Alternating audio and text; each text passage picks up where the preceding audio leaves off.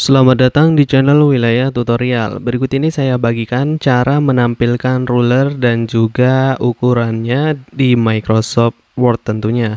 Nah, langsung aja kita buka pada lembar kerja di Microsoft Word. Nah, ini sudah terbuka. Kemudian berikutnya untuk menampilkan pada ruler di lembar kerja Microsoft Word yang biasanya ditampilkan di atas ini kemudian di samping sini juga nah caranya pilih bagian view selanjutnya kalian bisa cari menu ruler nah di sini ya kalian tinggal klik untuk menceklis pada ruler ini untuk menampilkan pada uh, rulernya seperti ini kemudian berikutnya kita coba mengatur pada uh, ukuran pada ruler ini ya bisa cm, meter dan sebagainya sesuai yang kalian butuhkan.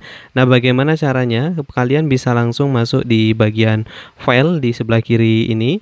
Kemudian kita scroll ke bawah, pilih bagian option. Setelah memilih bagian option, kalian langsung pilih aja bagian advance. Setelah itu kita scroll di bagian display ya.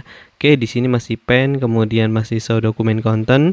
Nah, di sini bagian display ini adalah ukuran pada rulernya. Nah, ini masih sentimeter ya, teman-teman. Kita tinggal klik di sini tanda panah kecil untuk mengubahnya misalkan ke uh, millimeters atau inci. Nah, sesuaikan aja. Misalkan saya ubah ke millimeters, kemudian setelah itu kita pilih oke. Okay.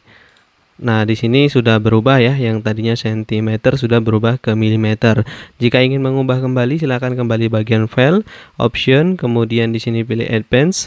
Setelah itu masuk di bagian display dan kalian bisa ubah ke ukuran yang semula atau yang kalian inginkan ya teman-teman. Nah, jadi seperti itu untuk menampilkan ruler dan juga mengatur ukuran luarnya. Mungkin itu saja untuk video kali ini. Semoga dapat memberi manfaat. Sekian dan juga terima kasih.